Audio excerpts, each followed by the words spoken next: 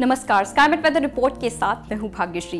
पंजाब, हरियाणा और उत्तर पश्चिमी उत्तर प्रदेश पर लगातार 48 घंटों से बारिश देखने को मिल रही है। इसका कारण है भारत पर बनी हुई कई सारी मौसमी प्रणालियाँ। एक पश्चिमी विक्षोभ उत्तरी पाकिस्तान और उससे सटे जम्मू कश्मीर पर बना हुआ है। साथ ही एक चक्रवाती हवाओं का क्षेत्र उत्तर पश्चिमी राजस्थान और उससे सटे पंजाब पर बना हुआ है। हालाँकि इन मौसमी प्रणालियों ने अब पूर्वी दिशा में आगे बढ़ना शुरू कर दिया है।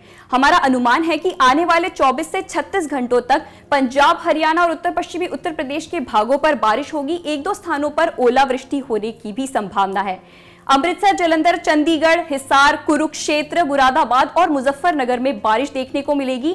हालाँकि पाँच तारीख से बारिश की गतिविधियाँ कम हो जाएगी और मौसम साफ़ होना शुरू हो जाएगा। स्कैमेट वेदर रिपोर्ट में अभी के लिए इतना ही। अधिक जानकारी के लिए देखते रहिए स्कैमेट वेदर। धन्यवाद।